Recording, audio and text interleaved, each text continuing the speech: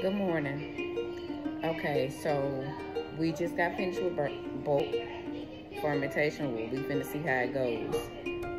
I gotta flour my my surface and we're gonna figure it out. All right, so let's see what the fall looks like because there are bubbles. They're pretty bubbles. The pull test is working.